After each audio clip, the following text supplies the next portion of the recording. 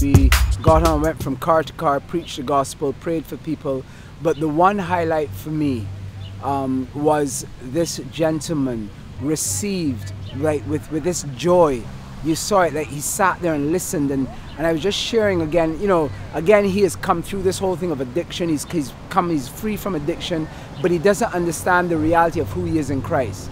You know, he, he knows that he has said yes to Jesus, but he doesn't know the power that has been given to him because of what Christ did for him on the cross and that the, the, and who lives in him presently. So we just sat and we talked and shared, and he was just so happy to receive that. And he, when he got off the gym, he's like, "Thank you so much," and you just see joy over his face because of truth because of the reality of truth that who is in him is greater than the things that are around him is greater than just the truth of that revelation you see everything change in their lives. And i just want to give glory to god